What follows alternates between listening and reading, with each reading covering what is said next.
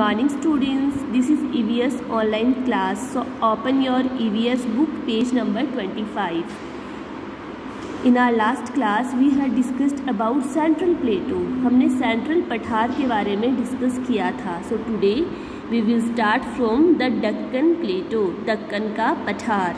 The Deccan plateau the largest plateau in India जो Deccan plateau है, वह इंडिया का सबसे लार्जेस्ट प्लेटो है. Is shaped like a triangle और उसकी शेप किस तरह की है? उसकी शेप एक ट्रैंगल की तरह है, जो दक्कन प्लेटो है। सबसे लंबा पठार उसकी शेप ट्रैंगल की तरह है। The Western Ghats lies lie to the west जो वेस्टर्न घाट है, वह इसके वेस्ट की तरफ़ है। वेस्ट पश्चिम की तरफ़ है। Of the plateau and are a long continuous range of hills comprising the Nilgiris, the Anamalai and the Cardamom hills. जो वेस्टर्न घाट है जो कि वेस्ट की तरफ़ है वह एक लॉन्ग लंबा कंटिन्यूस लगातार रेंज ऑफ़ हिल्स पहाड़ियों की श्रृंखला है। जो वेस्टर्न घाट है वेस्ट की तरफ़ वह उसमें एक लंबी लगातार पहाड़ियों की श्रृंखला है कंप्राइजिंग जिसमें शामिल है। जिसमें कौन कौन सी पहाड़ियाँ शामिल है? नीलगिरी हिल्स एनामलाई की पहाड़ियाँ और कार्डामम पहाड़ियाँ okay the Eastern Ghats towards the east जो ईस्टर्न घाट है, वह ईस्ट की तरफ़ है और स्मॉलर हिल वो क्या है? उसमें छोटी पहाड़ियाँ हैं। हिल रेंज छोटी पहाड़ियों की श्रृंखला है एंड आर नॉट कंटिन्यूस और वह लगातार लंबी भी नहीं है ओके okay? तो इस तरह से दक्कन प्लेटों में ईस्ट की तरफ़ भी पहाड़ियाँ हैं और वेस्ट की तरफ़ भी पहाड़ियाँ हैं। जो वेस्ट की तरफ़ पहाड़ियाँ हैं, वो लंबी है, लगातार है और एक श्रृंखला है।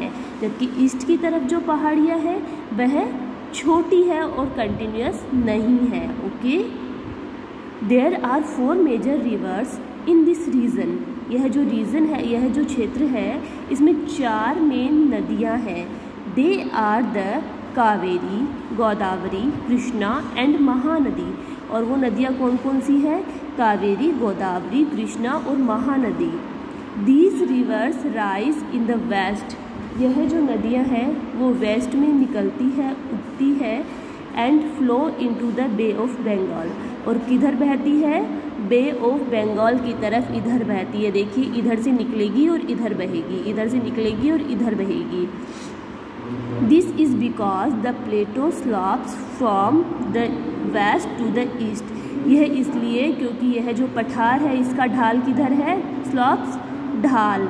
इस पठार का ढाल वेस्ट से ईस्ट की तरफ़ है okay since these rivers receive water from the rain जब यह नदियाँ सिंस जब यह नदियाँ रिसीव वाटर पानी प्राप्त करती है फ्रॉम द रेन बारिश से जब ये नदियाँ पानी प्राप्त करती है the volume fluctuates from season to season तो इनका जो वॉल्यूम है, इनका जो जो पानी की जो मात्रा है, वह fluctuates from season to season कम ज़्यादा होती रहती है।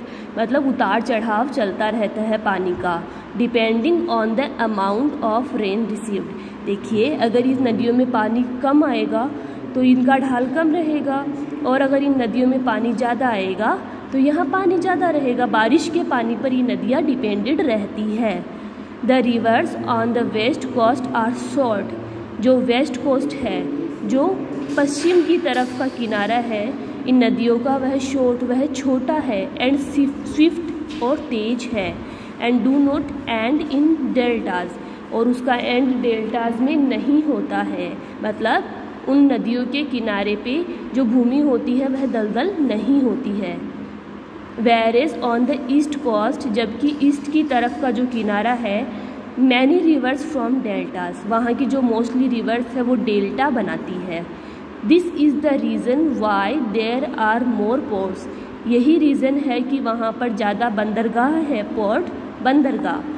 एंड नेचुरल हार्बर्स और नेचुरल बंदरगाह है in the west than in the east किधर है? वेस्ट की तरफ़ ज़्यादा बंदरगाह है पोर्ट्स है ईस्ट की तुलना में।